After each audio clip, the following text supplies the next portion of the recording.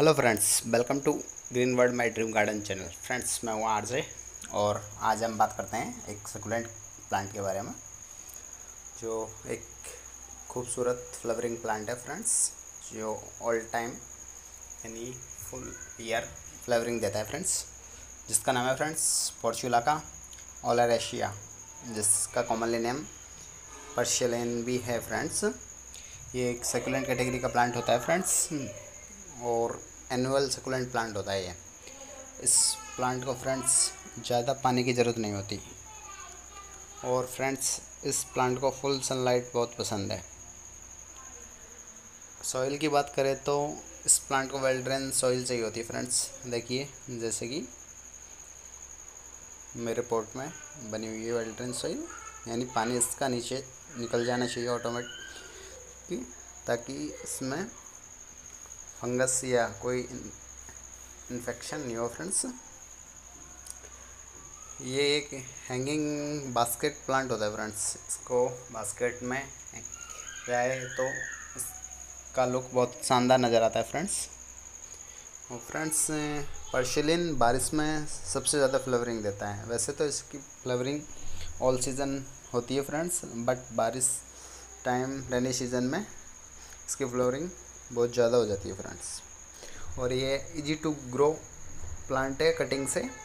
इसकी ब्रांचों को कट करके हम दूसरे पोर्ट या दूस सॉइल में लगाएँगे तो इजी ग्रो हो जाएगा फ्रेंड्स तो ये ऐसा प्लांट है, इससे कई प्लांट्स आप जनरेट कर सकते हो फ्रेंड्स कई ब्रांचेज और जनरेट कर सकते हो। जल्दी से ये ख़राब नहीं होता फ्रेंड्स इसका एक दो दिन बाद भी इस प्लांट की ब्रांच को लगाएँ तो इजी ग्रोइंग हो जाती है फ्रेंड्स तो अब सॉइल की बात करें तो इस प्लांट को friends normal garden soil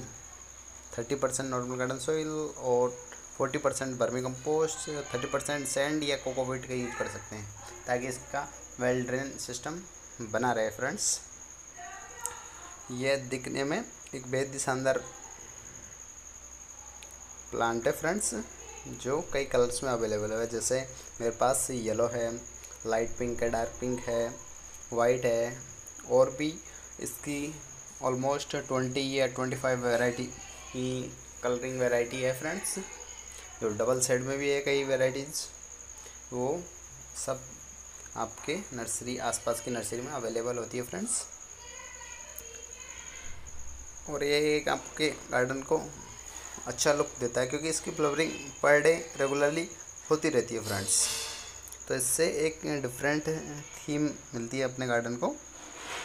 तो फर्टिलाइज़र की बात करें फ्रेंड्स अब तो फर्टिलाइज़र इसमें एन पी के देना चाहिए उससे इसकी ग्रोथ अच्छी बनी रहती है। और हर पंद्रह दिन में हमें एक टीस्पून हम्म, इसमें प्लांट में देते रहना चाहिए वाटर में मिक्स करके एक लीटर वाटर में। और फ्रेंड्स नेटिव की बात करें तो ये north Africa and south Europe का नेटिव प्लांट है और Malaysia and Australia and America में भी ये प्लांट काफ़ी फ़ेमस है फ्रेंड्स और इसका मेडिसिन बात करें तो फ्रेंड्स ये मेडिसिन में भी यूज़ होता है और ये फ्रेंड्स ग्रीक कंट्री में सलाइड के रूप में पर्शिलिन को यूज़ लेते हैं फ्रेंड्स और इस प्लांट की लिप्स, स्टेम एंड फ्लावर्स तीनों इडेबल होते हैं फ्रेंड्स।